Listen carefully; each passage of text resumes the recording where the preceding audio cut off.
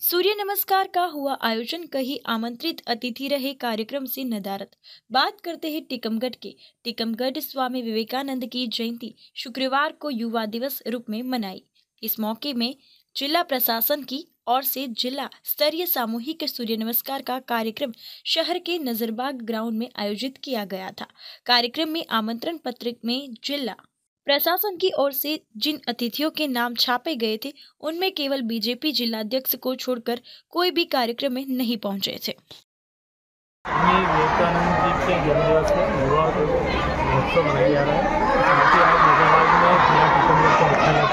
सामूहिक का कार्यक्रम आयोजित किया गया।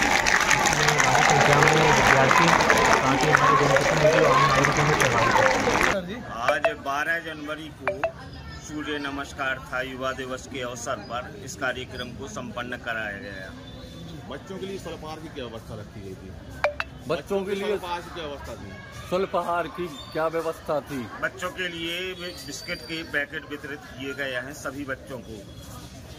जिनमें कुछ बच्चों को मिल भी नहीं पाए हो नहीं सभी जितने बच्चे बच्चों योग वाले कार्यक्रम में सम्मिलित हुए हैं बच्चों के बच्चों ने कहा है उन्हें मिल नहीं पाया स्वल्पहार उनकी व्यवस्था हो जाएगी यदि ऐसे हो सकता है। बच्चे तो है बाद में आए हों बाद में आए होंगे हो सकता है। नहीं तो सबकी व्यवस्था की गई थी।